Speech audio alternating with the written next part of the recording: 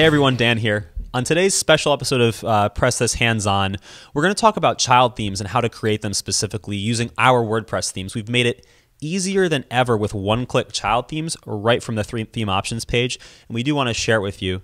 The reason being, we got a lot of people who asked in for this feature, and we added it just for you because people would update their content on their website, change the colors, change the font styles, then they'd update their theme, and it would all be gone. So here's the solution for that using child themes on WordPress.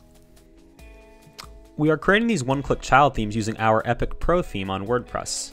Now we've added this functionality for one-click child themes to our themes. So if you go to the theme options section under appearance, you'll notice a new tab called one-click child themes. It's really, really simple to create one-click child themes. All you do is name the child theme. In this case, we're going to call it my website title, just because you can insert your title there. And then all you do is click that checkbox that says Activate Child Theme. And this will automatically create a child theme for you.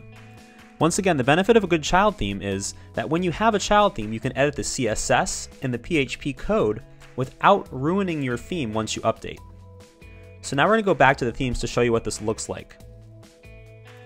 You'll notice that Epic Pro is no longer our theme of choice. It's my website title, the child theme, and Epic Pro is below with the other themes. Still, this child theme is tapping into the functionality of the original theme. When we go back to one-click child themes, we can click Edit. And this will show all of our child themes. We can create multiples if we want, if we have different clients. Let's take a look at the editor and what this would look like. You can also custom code in our custom scripts and styles section. But back to the editor. Under Appearance and Editor, this is a very, very powerful tool. Now you might be confused if you've never worked with this before. All you have to do is view the original theme called Epic Pro. And then we're going to select it here. And this is going to bring up the CSS for the original Epic Pro. Now here's why we're doing this. We're going to scroll through the Epic Pro uh, section and we're going to find the exact thing that we want to tweak. Let's use this as an example. We take the header h1 tag, we're going to copy it. Now this is very important. Make sure that you do not change, cut out, or delete anything on that theme. Instead, you go back to the website title, or your child theme, and paste that in. Once you've done that, you can change this element in the My Website title or your child theme.